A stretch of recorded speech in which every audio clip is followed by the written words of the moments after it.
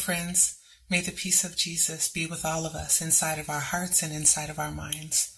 My name is Cara Valentino, and I am with the Light of the Soul Spiritist Center in Apex, North Carolina, in the United States.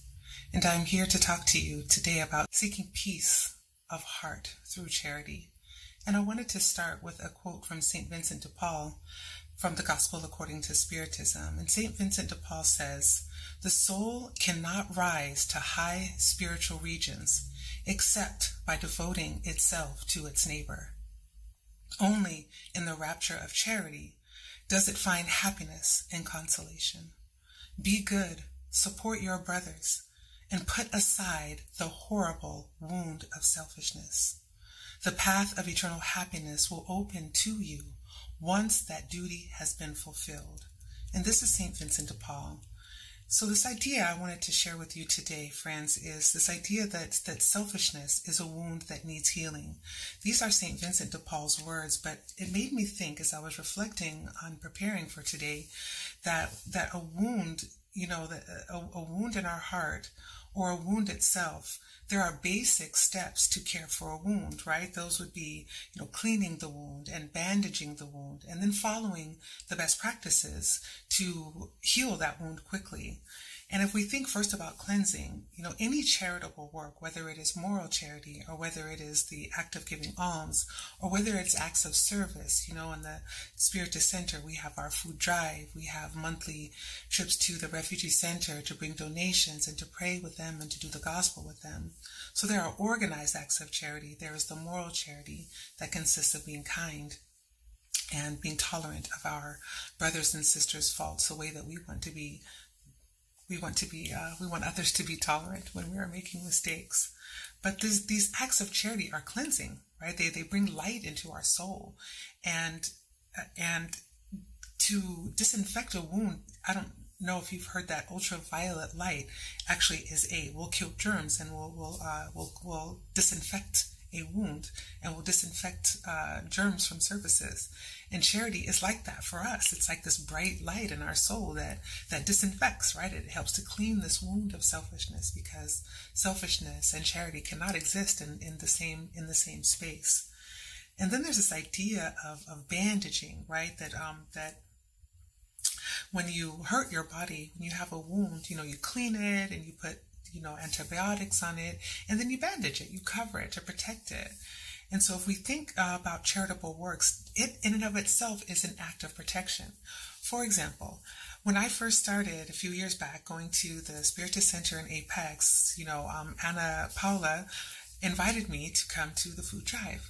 This is a weekly charity activity that involves going door to door to offer to collect food donations. That's the official, uh, the official agenda, if you will. It's the, the, official purpose, but really the unofficial purpose is to to hold these homes in prayer and to ask the good spirits of the Auta de Souza fraternal campaign to be in those homes and open the hearts of everyone there on the physical and on the spiritual plane, and to um, and to just to offer blessings and a consolation and to bring light to that neighborhood.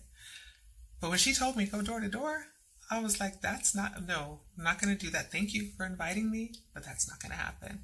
Yes, but every week I'm coming, you know, to the public meetings. I'm coming to the Saturday study. And so twice a week, she just with a big smile on her face would say, Oh, Cara, would you like to come on Saturday to the food drive? And I would look at her and think, why is she continuing to ask me? Didn't she hear me say last week that I said, no, I'm not going to do that?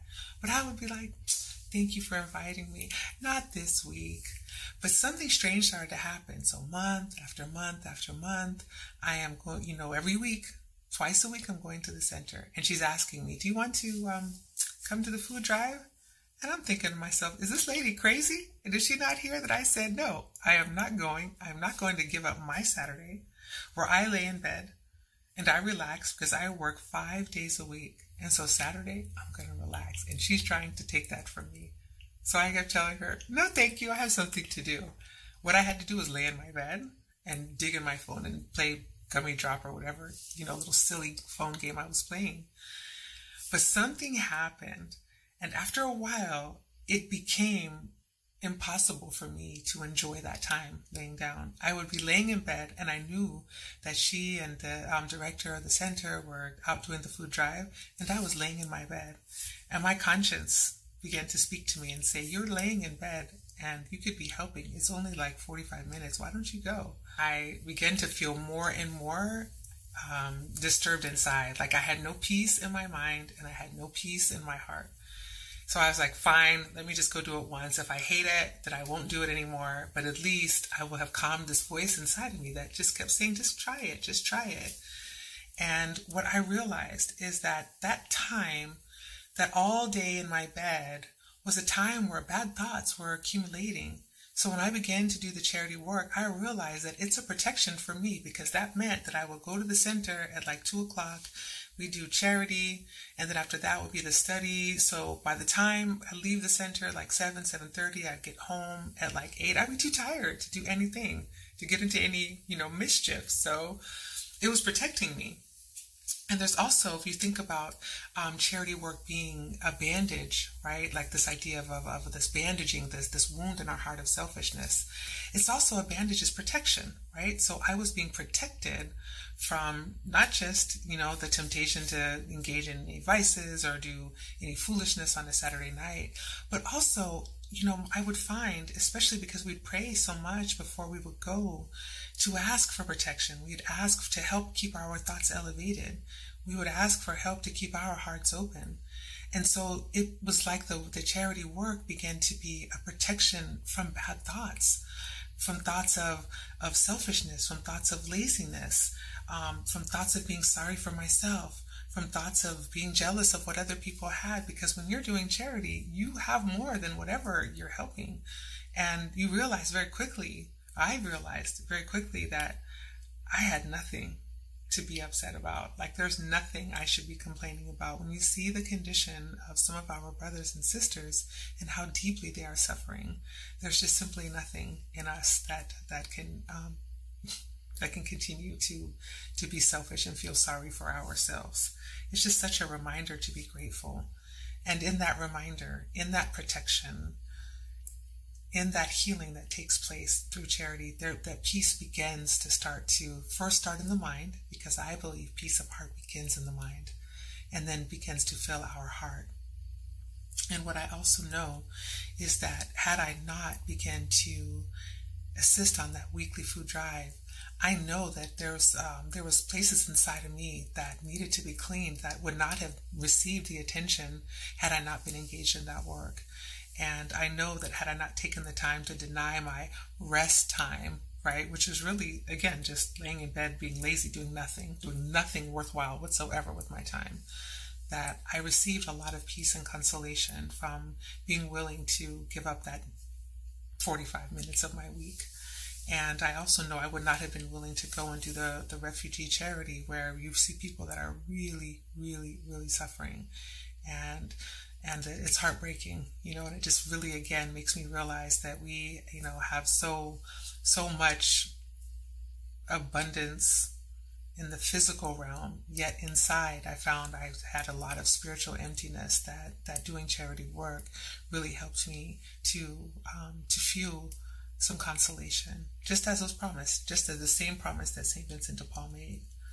So there's also this idea, those there's three things, right? So when you're cleaning a wound, this selfishness that, that stops us from wanting to be charitable, charitable, this selfishness that made me want to stay in bed, this selfishness that made me, you know, just um, withhold the, the part of myself that's willing to be of service because I needed to take a rest which is again, it sounds so silly to hear myself say it, but but hopefully this this message of of, uh, of, of humility and, and allowing some of my own vulnerability to show will help us all take a look inside of ourselves honestly.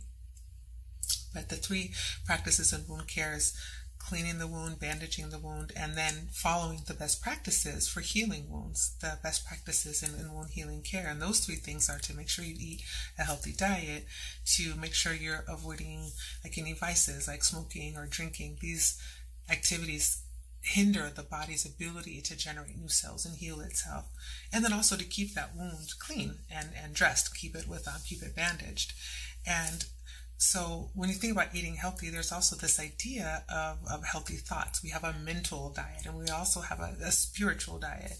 And so I found that, that the, the continuing of the charitable activities would, um, would open me to be more willing to learn, would open me inside to, to examine spaces in myself that, um, that made me willing to look at places where I was not really thinking in a positive way, made me willing to look at places where I was not really acting in a positive way, and to begin to spend more time to have a healthier mental diet, being willing to study more, and being willing to um, to admit where I needed to learn and that's that's humbling right? It's, it's humbling but it also brought a lot of peace because a lot of the selfishness that wound of selfishness the ego is one of those wounds of selfishness. And part of the reason why i think many of us don't admit to where we need to work on ourselves is we don't want to look bad. And the willingness for me to look bad actually has brought me so much healing and so much willingness to begin to to to do the work that it takes to clean inside the soul. Uh, and I'm so grateful for all the all that I have learned. I'm so grateful to know that I have way more to learn than I actually know. But the the willingness to study, to have a healthy mental and spiritual diet to help cleanse this wound of selfishness um, has been really helpful to me and brought me a lot of peace.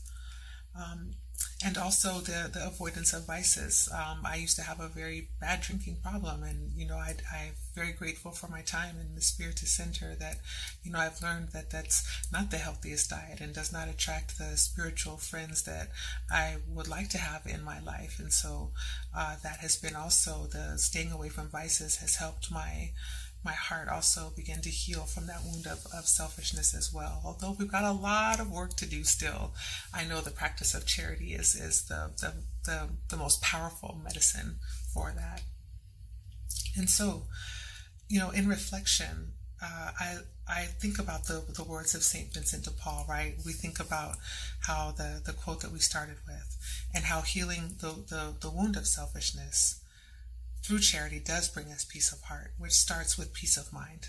And it's and it's through charity that this brings us this peace. And the, the words that he said were, the wound of selfishness also causes great suffering, and charity and self-denial are the way.